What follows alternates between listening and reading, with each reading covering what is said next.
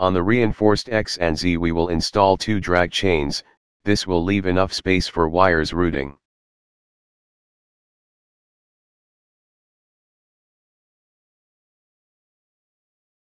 The end of the drag chain can be easily removed and changed direction, so you can reduce or increase the length, it is also open outside for easy wiring.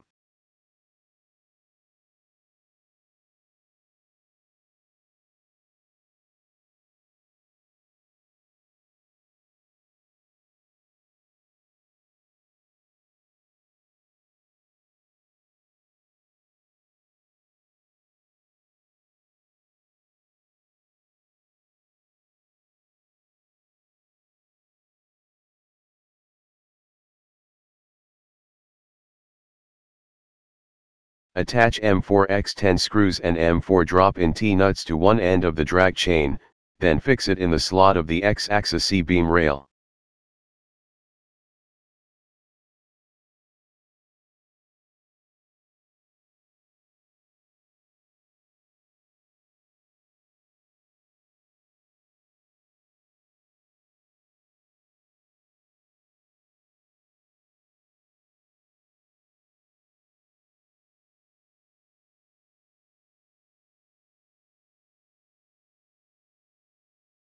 Then attach the other end of the chain to the X-beam plate with M4X20 screws, and tighten and fix with M4 nylon lock nuts.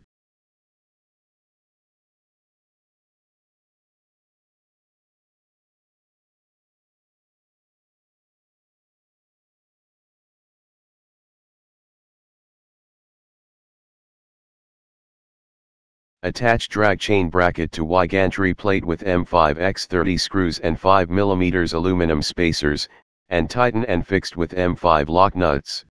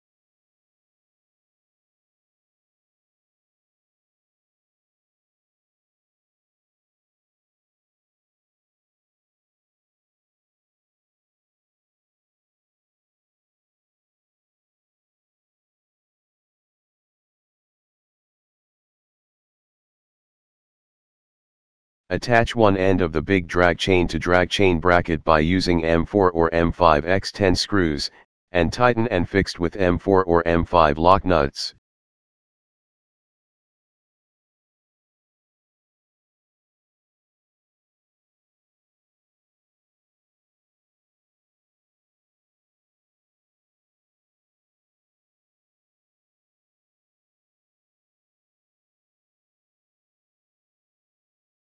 Finally, you can use self-tapping screws or cutting screws to fasten the other end of the chain to the table.